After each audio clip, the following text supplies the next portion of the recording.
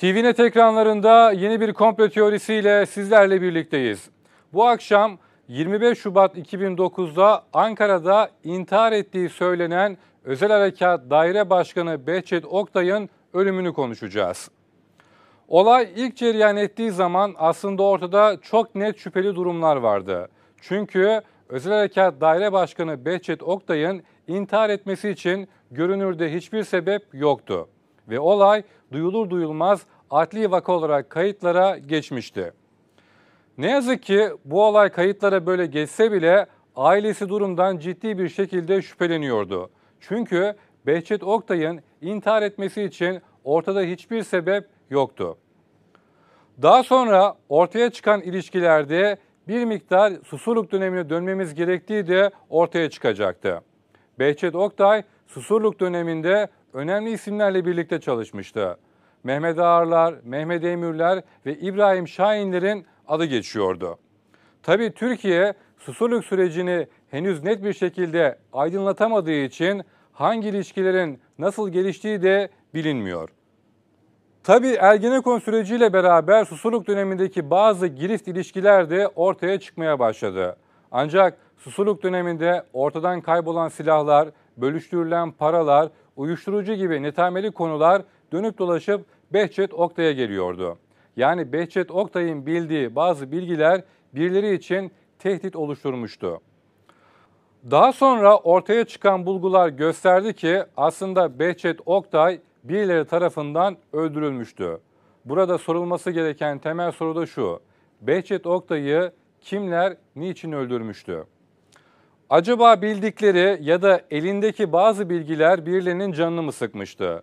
Peki soruşturmalar bu kadar derinden yürürken 2009 yılında nasıl oluyordu da Behçet Oktay öldürülüyordu? Komplo teorisi başlıyor.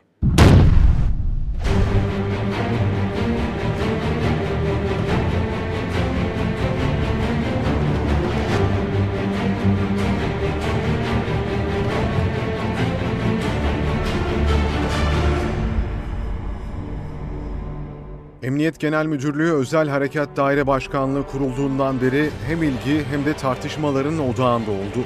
Özellikle Güneydoğu'da PKK'ya karşı mücadele veren bu özel birim bir dönem belli bir siyasi ilimin etkisine girmekle eleştirilirken polis teşkilatı içinde en seçkin bölümlerden biri olarak dikkatleri üzerine topladı.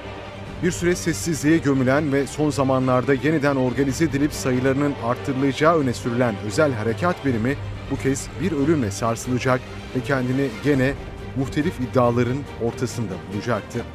1997'den beri tam 13 yıldır Özel Harekat Daire Başkanlığını sürdüren Behçet Oktay 25 Şubat 2009 gecesi kendisine ait otomobilinden Dikmen Keklikpınarı Caddesi yakınlarında 50. Sokak Park Villaları önünde 06 AZ 7382 plakalı Fiat Punto otomobilinin içinde beylik silahıyla bir kez ateş etmek suretiyle intihar edecekti. Ağır yaralı olarak ambulansa Gazi Üniversitesi Hastanesi'ne kaldırılan Oktay, yapılan tüm müdahalelere rağmen kurtarılamayacaktı. Olay o kadar ani ve garip bir şekilde gelişti ki kimse ilk anda tam olarak ne olduğunu algılayamayacaktı bile. Olay sonrası söylenenlere ve hatta cenazesine gelen çelenkte onuru için öldüğü yazısına bakılırsa Behçet Oktay hakkındaki iddialara dayanamayıp onuru için intihar etmişti. Öyle ki Emniyet Genel Müdürü Oğuzkan Köksal'ın törende yaptığı konuşmada maalesef kısa dönemli buhran sonunda böyle bir son, böyle bir kahramana yakıştı mı dersek bir kahramana bu sonun yakışmadığını ve üzüntümün bir kat daha arttığını ifade etmek istiyorum derken o da bu onura dayalı buhran teorisine de inanmış görünüyordu. Söz konusu iddianın temel hareket noktası ise Behçet Oktay'ın yakın arkadaşlarına özel hareket dairesi için bu kadar çaba gösteriyorum, bunlar görülmüyor. Beni yıpratmak için sistemli bir çalışma yapıldığından şüpheleniyorum demesiydi.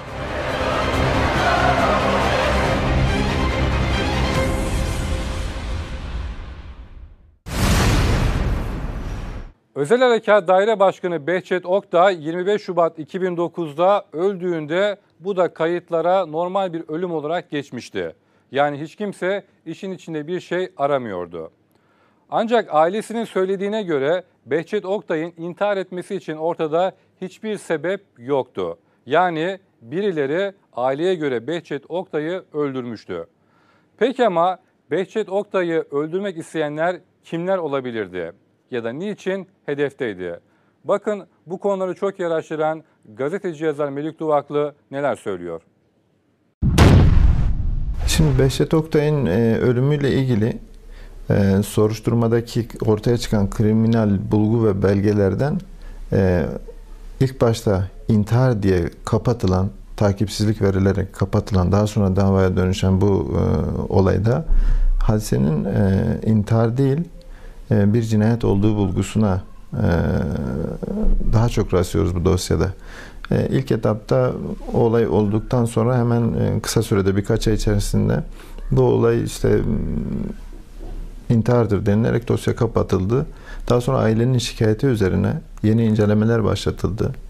E, oradaki kriminal incelemeler yenilendi. İşte olay yerinde bulunan tanıktan yeniden el swaplarıyla alakalı tekrar bir teknik inceleme falan yapıldı e, otopsisiyle ilgili yeniden e, bir inceleme e, gerçekleştirildi ve burada e, tanığın da tekrar ifadesine başvuruldu. Olay yerinde bulunan tek tanık e, ismini açık e, vermeyelim biz de HK baş harfleriyle e, onun ifadesindeki çelişkilerden de yola çıkılarak e, bir şey ortaya çıktı. Yani bir e, daha çok cinayet bulgusuna ağırlık veren bilgiler ortaya çıktı. Nedir o bilgiler? Birincisi e, bu Behçet Oktay sol elini devamlı kullanan birisiydi. İntihar sağ eliyle yani daha doğrusu kurşun sağ tarafından şakandan girmişti. Dolayısıyla sol elini devamlı kullanan birisinin tam intihar e, sırasında e, ısrarla sağ elini kullanmış olması e, bu şüphe uyandıran bir şey oldu. İkincisi olayın tek tanığı olarak gözüken olay yerinde bulunan HK'nın ki bu da Behçet Oktay'ın bir gönül ilişkisi vardı bir kadınla. O kadının kardeşi. O kişinin elinde barut izi bulunmuştu. Ekspertiz raporunda bu barut izinin normalmiş gibi yazıldığı ortaya çıktı. Ki bu şey değildi. Üçüncüsü e, Behçet Oktay'ın e, içerindeki kasası e, ailesinin de e, haber olmadan üsttekilerin de haber olma ve kasanın içerisinde ne olduğu da bilinmeden boşaltılmıştı. O bilgi belgeleri alınmıştı. E, dördüncüsü olay yeri incelemelerinin e, o kasetlerin incelemesinde e, yani polis kaydı alınırken orayındaki o e, şeylerle alakalı delillerin toplanması sırasında bazı seslerin kayda takıldığı ortaya çıktı. Neydi? Onlar işte o silahı şuraya koy şeklinde hani bir yönlendirme ifade yani orada idi şeklinde falan gibi tanığı yönlendiren ifadelerin olduğu ortaya çıktı. Bütün bunlardan ilk başta şey diye kapatılan, intihar diye kapatılan e, bu olayın daha çok cinayet olduğu, yani bu bizim kişisel kanaatimiz değil de dosyadan çıkan e, ve asıl ağırlık kazanan yönü bu. Yani o yüzden de bütün bu bilgilerin ışığında biz bunun daha çok e, intihar değil de cinayet olduğunu artık biliyoruz en azından. Ailesinin de zaten e, ifadeleri o yönde. Soğuk savaş döneminde eğer birinden kurtulunmak isteniyorsa o kişi öldürüldükten sonra olaya intihar süsü verilirdi. Daha sonra da doktorlar aracılığıyla bir takım ruhsal bozukluklar dosyaya eklenir ve olay kapatılırdı. Benzer bir şey tabi Behçet Oktay için de geçerliydi. Bir gönül ilişkisi olduğu söyleniyordu ve bu ilişkisinin kendisini yıprattığı, bu yüzden de intihar ettiği iddialar arasındaydı. Ancak ortada çok garip durumlar da vardı. Behçet Oktay solaktı ancak kurşun sağ şakandan girmişti. Yani nasıl oluyor da solak olan biri sağ şakağına kurşun sıkarak intihar edebiliyordu. İşte bu durum bile Behçet Oktay'ın öldürüldüğünün en net kanıtıydı.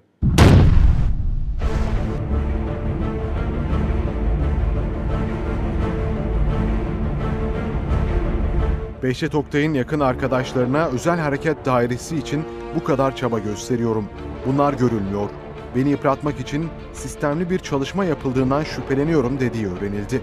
Bu yaklaşıma göre Oktay, tıpkı bir süre önce intihar ettiği açıklanan emekli albay Abdülkerim Kırca gibi hakkındaki iddiaları gururuna yediremeyip canına kıymıştı.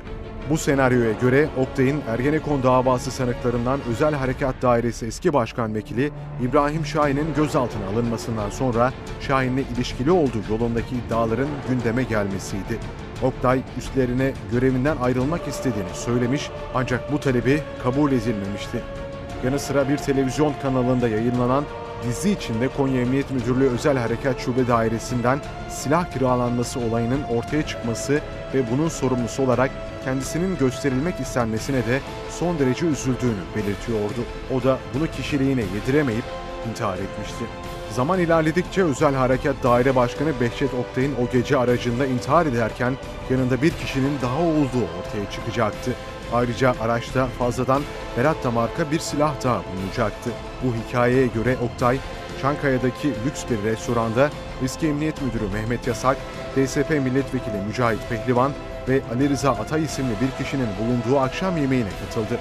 Ayrıca Oktay'ın restoranda Ahmet Kaya'nın Kafama Sıkar Giderim isimli parçasını defalarca çaldırdığı söyleniyordu. Kafama sıkar giderim İçkide içilen yemeğin ardından Behçet Oktay saat 24'te sivil bir kişiyle birlikte restorandan ayrıldı. Bu kişi emekli bir emniyet müdürü olan Mehmet Yasak'tı. Olayın hemen sonrasında cinayet büro ekiplerince gözaltına alınan Mehmet Yasak şunları söyleyecekti. Arkadaşlarımızla birlikte lokantadan çıktık. Evimiz yakın olduğu için biz de birlikte çıktık.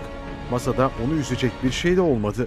Otomobilinin kara saplanmasına inanılmaz bir biçimde tepki gösterdi. Bunlar hep beni buluyor diye bağırıyordu. Ben kendisini yatıştırmaya çalışırken o aniden tabancasını çıkarıp ateş etti. Ne olduğunu bile anlayamadım. Çevreden yetişenlerle birlikte hastaneye kaldırdım. Son zamanlarda yakındığı bazı konular var. Bunlar arasında özel hareket dairesi için bu kadar çaba göstermesine rağmen bunların görülmediğini, kendisini yıpratmak için sistemli bir çalışma yapıldığını söylüyordu. Ancak onun intihar edebileceği hiçbir zaman aklımızdan bile geçmemişti.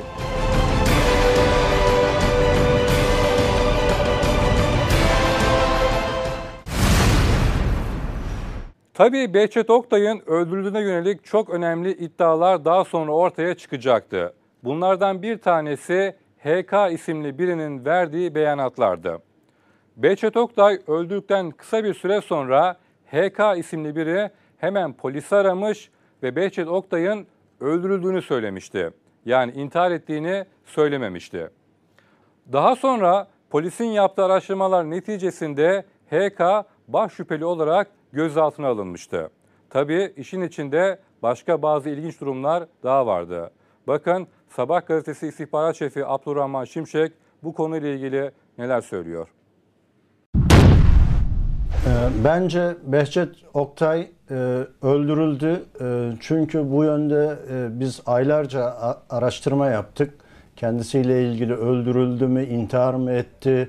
Çünkü o Behçet Oktay'ın öldürüldüğü gece bir sürü karanlık noktalar var. Bize göre bir kere olay yerinden 155 polis imdatı arayan alo acil Behçet Oktay öldürüldü çabuk ambulans yollayın diye bir şahıs vardı. E, HK diye bir şahıs ismini vermeyeyim buradan. E, olay yerine ambulansın gelmesi ve aradan e, yarım saat gibi bir süre geçiyor. Polis olay yerine geldiğinde ve ambulanslar da geldiğinde zaten Behçet Oktay orada ölmüştü veya öldürülmüştü.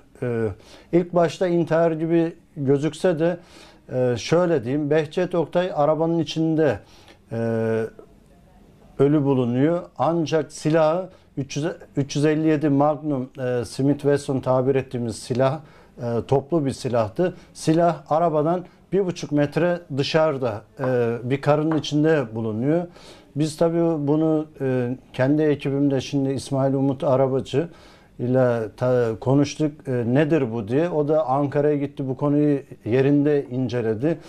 E, mesela bizim ilginç gelen bir şey Madem e, Behçet Oktay intihar etmişse sol eliyle e, bu adam solak ama tam burasından mermi giriyor ve arkasından çıkıyor. Solak birisi böyle e, kendi sol tarafından yani normalde sağ tarafından yani bu mermi girmişse sağını kullanan bir kişi bu tarafından sağ şakağından sıkması lazım. Bir kere bu bizde e, bir şüphe uyandırdı. E, oradaki HK adlı şahısın e, şüpheli hareketleri de e, bize şey geldi. Olay yerinde mesela bir kokain e, kanında Behçet Oktay'ın kokain bulunduğuna ilişkin bir takım e, veriler vardı. E, mesela eksik yönleri var bence bu cinayetin. Çünkü Behçet Oktay oraya gelmeden önce bir gece kulübünde arkadaşlarıyla eğleniyor ve arkadaşlarıyla eğlendikten sonra biliyorsun e, intihar ettiği söylenen veya öldürüldüğü yer e, sevgilisinin e, annesinin ve kardeşinin oturduğu binanın önünde olay meydana geliyor. Sevgilisiyle aslında araları bozuk ayrılmışlar 6 aydır. Tekrar onlarla görüşmek için oraya geliyor. Bu arada e, olay yerindeki e, HK'nın her iki elinde de barut izi yani el subabı al- alınan teknik bir terim el subabı. Çünkü silahı sıktığınız zaman olay yerinde bir sürü havada uçuşan toz bulutları bunlar barut. Her iki elinde de e, silahtan çıkan barut izi çıkıyor. Bu da polis tarafından şüpheli e, görülüyor. Mesela e, öldürülen Behçet Oktay'ın elinde böyle bir barut izi rastlanmıyor veya e, enteresan e, bu bulgular bir sürü böyle savcılık tarafından yapılan eksik o dönemde aslında eksik yapılan e, soruşturmayı daha sonra yeniden dosyayı açan savcı bazı eksikleri görüyor ancak kamera kaydı olmadığı için e, bir dava açıyor ama başka bir şey de söyleyeceğim. Mesela Behçet Oktay öldürüldükten sonra e, biliyorsunuz e, sim kartları e, yani kendi kullanımında olduğu sim kartları 24 saat açık oluyor. Daha sonra Ankara'nın çeşitli yerlerinde bu sim karttan baz istasyonlarından sinyal bilgileri alınıyor, internete giriliyor. E, daha sonra aradan e, 24 saat sonra kim yani cinayeti işte işlendikten sonra veya intihar biz artık intihar demiyoruz cinayet diyebiliriz. Cinayeti işleyen şahıslar Behçet Oktay'ın sim kartlarını almış Ankara'da bir takım görüşmeler yapmasa da bazı istasyonlarında gezmiş. Bu mesela henüz araştırılmadı, üzerine gidilmedi. Vücudundaki e, kokain miktarı dediler başka maddeler de çıktı. Mesela bu maddeler ne olduğu tam e, eksik e, şüphe uyandırıyor. Ayrıca mesela olay yerinde o gece e, disco gibi bir gece kulübünde eğleniyor. Orada kimlerle o bardan kimlerle çıktığı, kimlerle eğlendiği dosyada yok. Bu çok önemli. Yani siz bir e, e, özel harekat daire başkanı öldürülüyor veya intihar ediyor. O gece birkaç saat önce bir e, gece kulübünde eğleniyor ve gece kulübünde eğlendiği kişileri polis bu- bulamıyor veya savcılık bulamıyor. Bunlar şüpheli yani. Bunların bence halen araştırılması lazım. Eksik kalan bilgiler bir biz de gazeteci olarak e, e, bu konu bizde halen soru işareti bırakmıştır.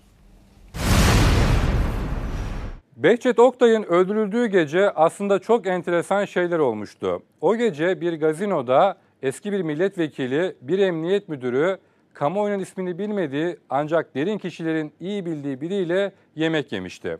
Ve intihar da bu yemekten kısa bir süre sonra meydana gelmişti.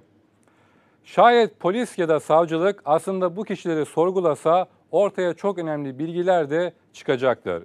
Çünkü iddialara göre ve gelen bilgilerin analizi yapıldığında aslında Behçet Oktay bu kişiler yüzünden de ölmüş olabilirdi. Peki ama yanında bulunan kişiler Behçet Oktay'ı niçin hedef seçmişlerdi?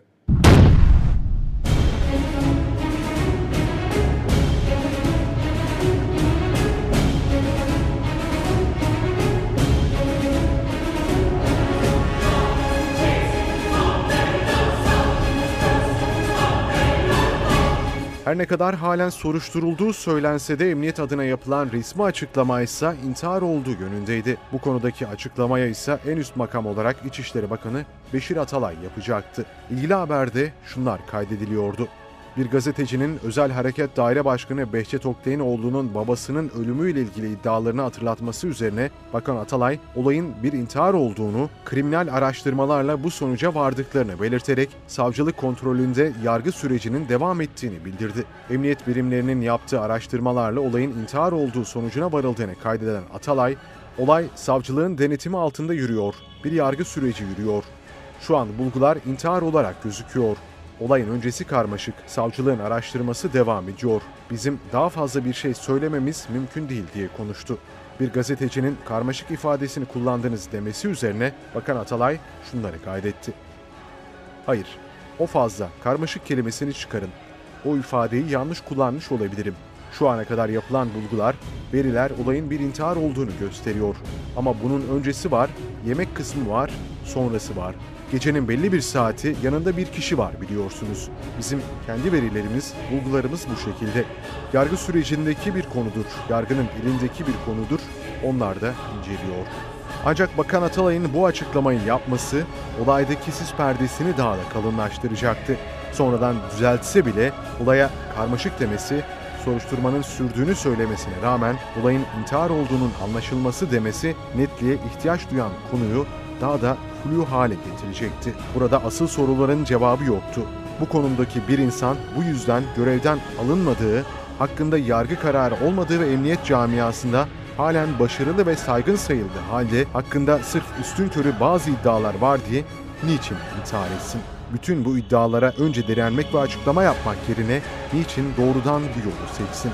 Bu iddialara o kadar alınmış ve kızgın biri böylesi fevri davranmak yerine planlı bir intihar tasarlaması eğer edecekse de bir mektup bırakarak kendini savunması veya bazı kişiler ya da kesimleri suçlaması gerekmez miydi? Otomobilin kara saplanması gibi küçük bir aksilik niçin bardağı taşıran damla olsun? Niçin çevresindekilere bir şey hissettirmesin? Dahası iddia edildiği gibi onu bu kadar yıpratmak için önce itibar infazları hazırlayanlar, karalama kampanyaları düzenleyenler niçin bir adım daha ileri gidip intihar görünümlü gerçek bir infaz hazırlamasınlar?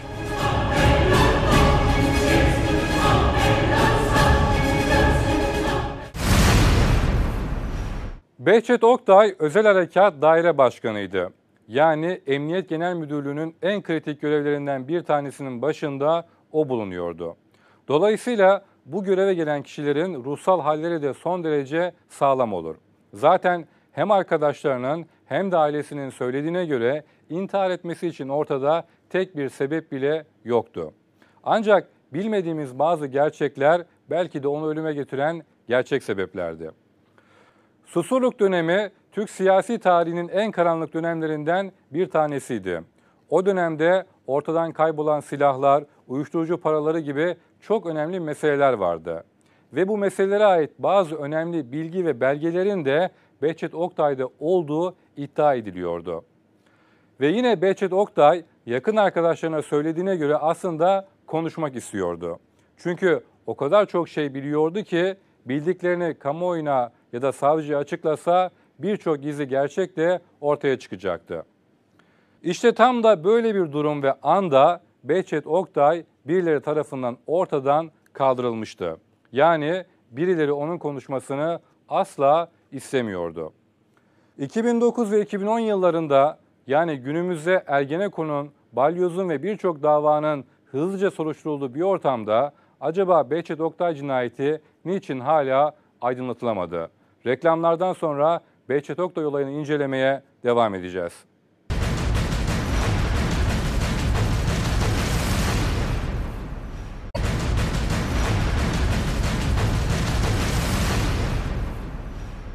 Ergenekon soruşturması başladıktan belli bir süre sonra eski Özel Harekat Daire Başkanı İbrahim Şahin de tutuklanmıştı. Ve İbrahim Şahin tutuklanmasından kısa bir süre sonra da Behçet Oktay öldürülmüştü. İddialara göre bu ikisi arasında belli bir paralellik vardı. Çünkü İbrahim Şahin ile ilgili birçok belge ve dosya aslında Behçet Oktay'da biliniyordu. Ve Behçet Oktay da savcılara bildiklerini anlatmak istiyordu. Yani eğer Behçet Oktay birçok şeyi anlatsa belki de Ergenekon sürecinde bazı konular daha da hızlı ilerleyecekti. Bakın gazeteci yazar Melik Duvaklı bu konuyla ilgili neler söylüyor.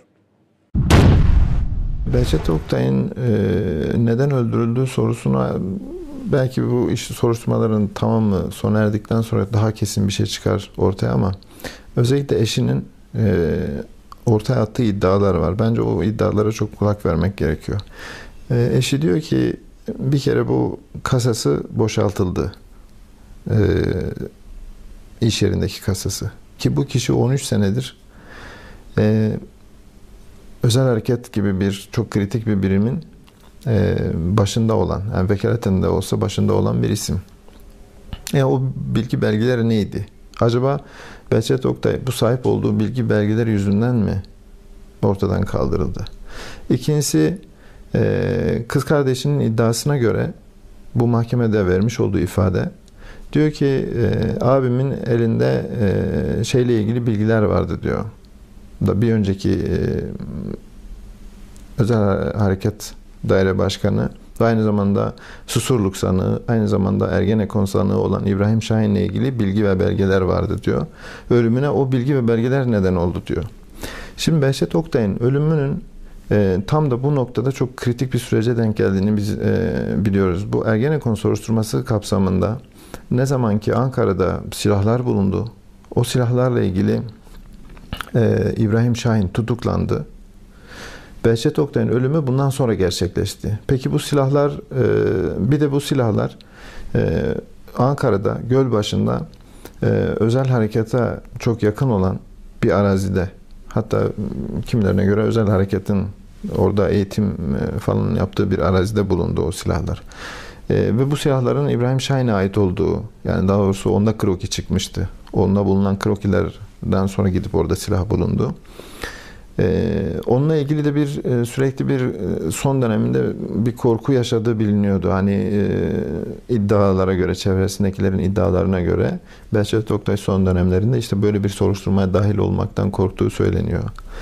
Ee, öbür taraftan İbrahim Şahin'le ilgili hani acaba o çevreler bizi bu mu yani ihbar etti veyahut da bizim yakalanmamızı o mu sağladı gibi bir düşünce de olmuş olabilir. Ee, eğer öldürün yani onun ölümünde de yine sahip olduğu bilgiler ikincisi e, böyle bir şeyden dolayı suçlanmış olma ihtimali e, ele verilmiş olmaktan e, ve belki de hani başka silahlar da vardı o bölgede ve bunlarla ilgili bilgi veriyor, vermesinden de korkuluyor olabilirdi. Çünkü kimi kaynaklara göre de Behçet Oktay konuşmak da istiyordu. Yani e, bir soruşturma olduğu zaman veyahut da bir gözaltı durumunda ifadesine başvurulduğu zaman e, bildiği şeyleri anlatmayı da istediği yani yakın çevresinde e, bu yönde bazı konuşmaların olduğu da söylendi. Böyle bir şey bir de o gün yani intiharın yaşanmış olduğu gün çevresindeki insanlara baktığınız zaman o masada bulunan birlikte yemek yedikleri o masadan kalkıldıktan sonra çünkü intihar ediyor. E, o isimlere baktığınız zaman çok da böyle sıradan e, normal bir o akşam bir yemek olmadı. E, herhangi bir diyalog yaşanmadı ve oradan kalkıldıktan sonra her nedense e, intihar ettiği söyleniyor, iddia ediliyor. Bir de yani intiharla ilgili çok önemli şeylerden bir tanesi Behçet Oktay'ın e, telefonu ölümünden e, sonra da bir kez kullanılıyor. Bir 10-11 saniyelik bir e, şey yapılıyor. Hmm, galiba 8 saat sonra. Tekrar bir kullanıma giriyor sonra kapatılıyor intiharından sonra. Tabii geldiğimiz nokta itibariyle Susurluk döneminde hala aydınlatılamamış birçok konu var. Olay sadece para, uyuşturucu ya da ortadan kaybolan silahlar değil. Bir de devlet bürokrasisinin en tepesindeki isimlerin yaptığı bazı gizli işler var. Her ne kadar Susurluk kazası ve sonrasındaki Ergenekon'da aslında olayın sadece piyon kısımları ortaya çıktı. Gerçek failler ya da emirleri verenler hiçbir zaman gözaltına alınmadı. Belki bürokrasinin tepesindeki bazı isimlere dokunulsa birçok şey de ortaya çıkacaktı. Bütün bunlardan dolayı Behçet Oktay bildikleriyle birilerini ciddi bir şekilde rahatsız edebilirdi. İşte bu yüzden de ortadan kaldırılmış olması en güçlü ihtimal.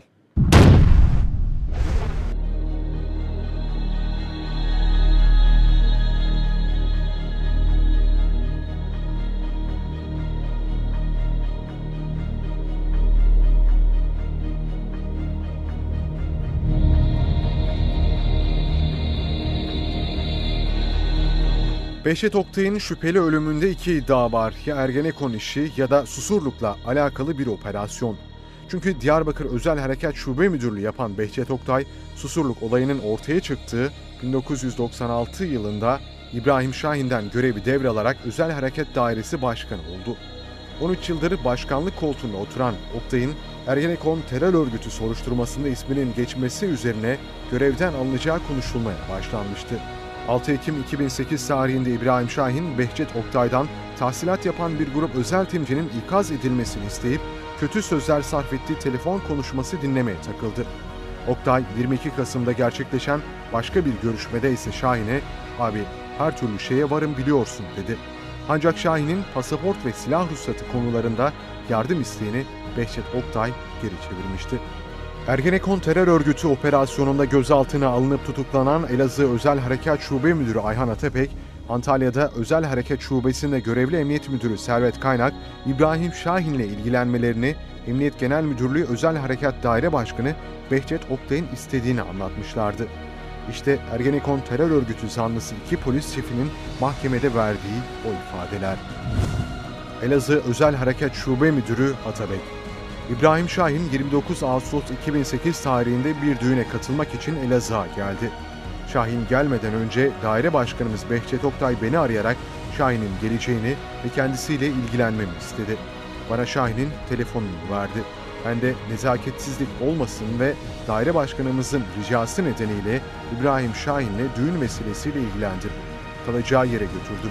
İbrahim Şahin benden adımı, soyadımı ve telefonumu istedi. Ben de bir kağıda yazarak verdim. Antalya Özel Harekat Şubesi Emniyet Amiri Servet Kaynak İbrahim Şahin'i önceden tanıyorum. Susurluk kazasının ardından Şahin'in başına gelenler nedeniyle uzun süre görüşmedik. 2002-2003 yıllarında daire başkanı Behçet Oktay beni arayarak İbrahim Şahin'in Antalya'ya geleceğini kendisiyle ilgilenmemi istedi. Ben de Oktay'ın talimatı doğrultusunda İbrahim Şahin'le ilgilendim. Bundan sonra görüşmemiz olmadı. Şahin 4-5 ay önce arayarak dış görev var deyince her zaman göreve hazır olduğumu söyledim.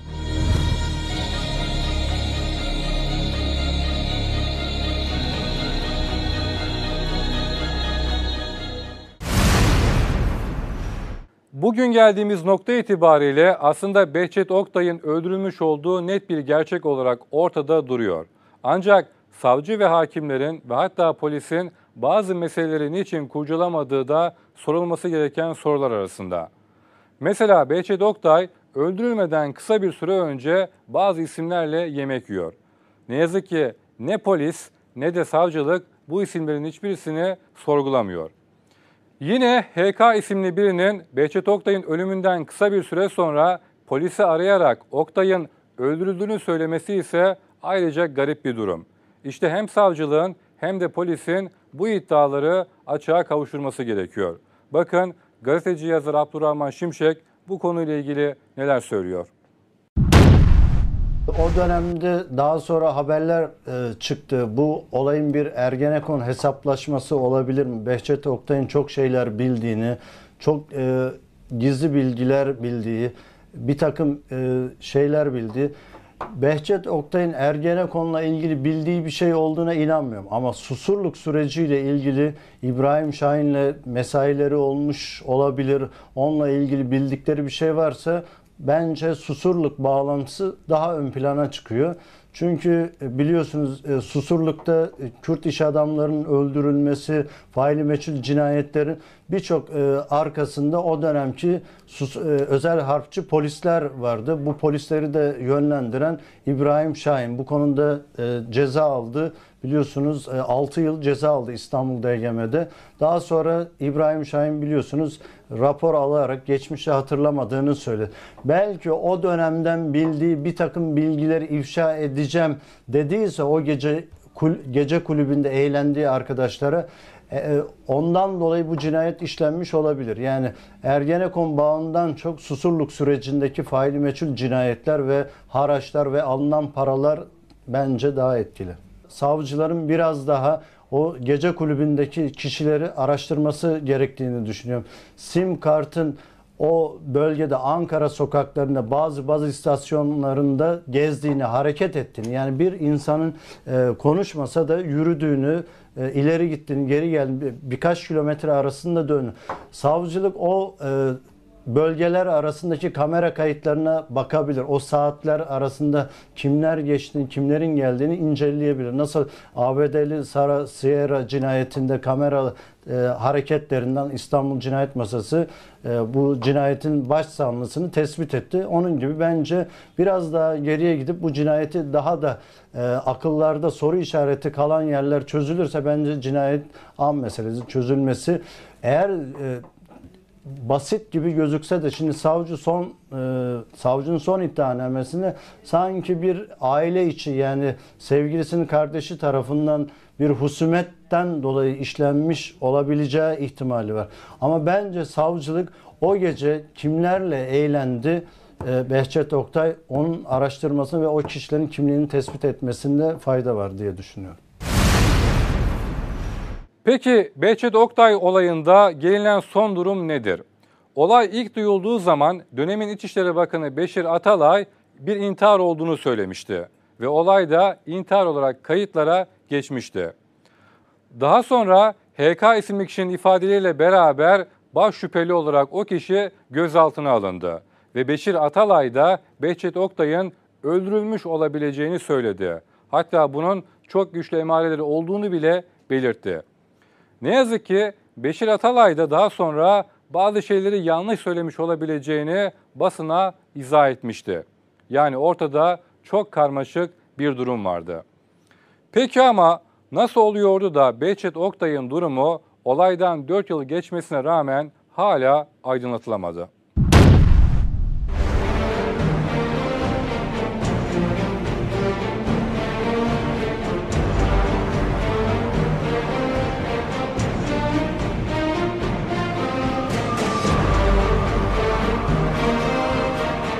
Son yapılan duruşmada dönemin Özel Harekat Daire Başkan Yardımcısı Cemil Yurtseven tanık olarak dinlendi. Behçet Oktay ile uzun süre görev yaptığını belirten Yurtseven, Oktay'ın ölümüne ilişkin bilgisinin olmadığını söyledi. Mahkeme Başkanı Bahattin Özbaş'ın Behçet Oktay öldüğünde odasında bulunan kasayı kim açtı sorusuna Yurtseven, bu daire başkanına ait bir kasadır. Bu kasada gizli evrak da bulunabilir, kişisel eşyalarda. Kasayı kimin açtığını bilmiyorum. Kasanın anahtarı daire başkanında ve özel kalemde yetkili kişilerde de bulunabilir yanıtını verdi. Oktay'ın ölümünden bir süre sonra Özel Harekat Daire Başkan Vekili olarak görevlendirildiğini hatırlatan Yurtseven, Oktay'ın kasasında bulunan eşyaları çocukları Mehmet ve Burak Oktay'a tutanakla teslim ettiklerini kaydetti. Mahkeme üyelerinden Ayşe Serpil Aykut'un kasayı açarken eşine neden haber vermediniz, eşine haber vermeniz daha doğru olmaz mıydı sorusuna Yurtseven, eşine zahmet olmasın diye çocuklarını çağırdık. Çocuklarının 18 yaşını doldurmuş olmalarının nedeniyle eşinin yorulmasını istemedik cevabını verdi. Behçet Oktay'ın kardeşi Şule Oktay'ın o gece ağabeyimin bedeni soğumadan cebindeki anahtarları alınarak kasası açıldı. Bundan haberiniz yok mu sorusu üzerine de yurtseven bildiğimiz bir şey yok. O gece Behçet Oktay'ın evine gitmiştim dedi. Duruşmada söz alan Oktay'ın eşi Şengül Oktay, Behçet Oktay'ın kasasında bulunanların neden çocuklarına teslim edildiğini anlayamadığını söyledi. Behçet Oktay'ın şüpheli ölümü olduğu gibi duruyor. Bütün kanıtlar öldürüldüğü yönünde. Eğer Oktay'ın dosyası da rutin intihar olarak kayda geçerse bu ülkede bir şeyler değişmeyecek demektir.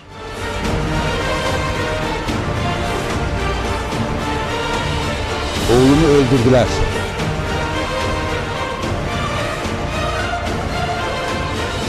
İntihar verdiler.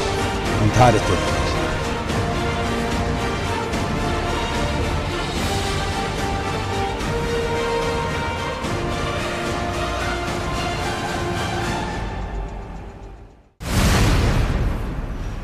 Türkiye'nin yakın tarihinde o kadar çok şüpheli ölüm var ki bu ölümlerin her birini soruşturmak, sorgulamak bile başlı başına bir mesele. Hangi olaya el atsanız, hangi olayı soruştursanız altından birçok ilginç bağlantılar, garip ilişkiler çıkıyor. Olayı soruşturan polisler ve savcılar da aslında bir yere kadar gelebiliyorlar ancak bir yerden sonra daha da ileri gidemiyorlar. Eğer gitmek isterlerse de yine bir el onların önünü kesiyor. Türkiye bugün Ergenekon, Balyoz ve bunun gibi birçok davayı hala soruşturuyor. Çok önemli adımlar atıldı. Demokratikleşme konusunda da ciddi olarak Avrupa ülkeleriyle yarışır duruma gelindi diyebiliyoruz. Ancak bazı suikastlerin hala çözülememesi ya da perde arkasındaki garipliklerin ortaya çıkmaması kafaları karıştırıyor. Behçet Oktay bildiğimiz bu şüpheli ölümlerin en net olanıydı. Aslında devletin bu olayı bir an önce açığa kavuşturması gerekiyordu. Bugün artık ortaya çıkıyor ki ister Ergenekonlu olsun, ister Susurluk'la ilgili olsun Behçet Oktay öldürüldü. Ve öldürenler de belki hala dışarıda ellerini kollarını sallayarak geziyorlar. Kasasının bir an önce boşaltılması, bilgi ve belgelerinin çalınması, daha da ilginci kullandığı telefon hattının ölümünden birkaç gün sonra bile kullanılması aslında birçok gerçeği gözler önüne seriyor. Yani Behçet Oktay'ı öldürenler aslında devletin içindeki bir takım odaklar tarafından hala korunuyor. Korkarım ki Behçet Oktay'ın ölümü de tarihe küçük bir ayrıntı olarak geçecektir. Onu öldürenler ise çok rahat bir şekilde istediklerini almış olmanın mutluluğuyla belki de içimizde gezmeye devam edeceklerdir. Ancak devletin ne olursa olsun bu şüpheli ölümlerin tamamına el atması gerekiyor. Şayet bu cinayetler, şüpheli ölümler aydınlatılamazsa geçmişteki birçok gizli ayrıntı da tozlu raflardaki yerini alacaktır. Önümüzdeki hafta yeni bir komplo teorisiyle görüşmek dileğiyle, hoşçakalın.